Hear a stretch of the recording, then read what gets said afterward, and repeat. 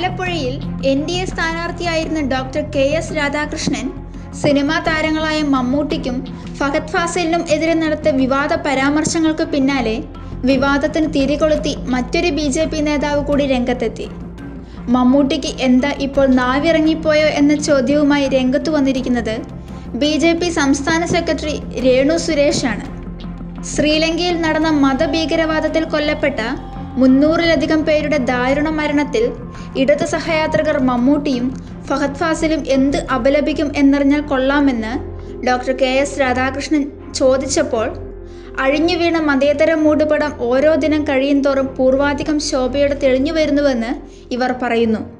ലോകം ആദരിക്കുന്ന ഭാരതത്തെ നയിക്കുന്ന സാക്ഷാൽ ശ്രീമാൻ നരേന്ദ്രമോദിജിയും ഭാരത പ്രസിഡന്റും അടക്കം നിരവധി പേർ ആർ എന്ന മഹാസംഘടന വഴി വളർന്നു വന്നവർ എന്നിരിക്കെ രണ്ടായിരത്തി ഏഴിൽ നടന്ന ഇടത് യുവജന പ്രസ്ഥാനം ഡിവൈഎഫ്ഐയുടെ ദേശീയ സമ്മേളനത്തിൽ ശ്രീ മമ്മൂട്ടി ഉച്ചരിച്ച വാക്കുകൾ ഇവിടെ കൂട്ടി വായിക്കേണ്ടതുണ്ടെന്ന് ഇവർ പോസ്റ്റിൽ പറയുന്നു. ഡിവൈഎഫ്ഐ ഇന്ത്യയിലുടനീളം ഉണ്ടായിരുന്നെങ്കിൽ സംഘപരിവാർ ഫാസിസം ഇന്ത്യയിൽ ഉണ്ടാകുമായിരുന്നില്ലെന്നായിരുന്നു അന്ന് മമ്മൂട്ടി പറഞ്ഞത്. അന്നത്തെ ചോദ്യത്തിന് മമ്മൂട്ടി ഇന്ന് ഉത്തരം പറഞ്ഞേ മതിയാകൂ എന്നിവർ പറയുന്നു. കേരളം എന്ന ദൈവത്തിന്റെ നാട്ടിൽ നടക്കുന്ന മതഭീകരവാദ കൂട്ടിക്കൊടുപ്പിന് താങ്കൾക്ക് എന്തുണ്ട് ഉത്തരം? ശക്തമായ കേന്ദ്ര ഇന്റലിജൻസ് സംവിധാനവും എൻ ഐ എ ഉദ്യോഗസ്ഥരും കേരളത്തിന്റെ മുക്കിലും മൂലയിലും കമ്മ്യൂണിസത്തിന്റെ മറവിൽ ഒളിച്ചിരിക്കുന്ന മതഭീകരരെ ഒന്നൊന്നായി പിടികൂടുമ്പോൾ എന്തുണ്ട് താങ്കൾക്ക് പറയാൻ?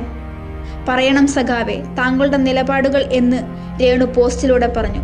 ഏറെ വിവാദമായി മാറിയിരിക്കുകയാണ് രേണുവിന്റെ പോസ്റ്റ്.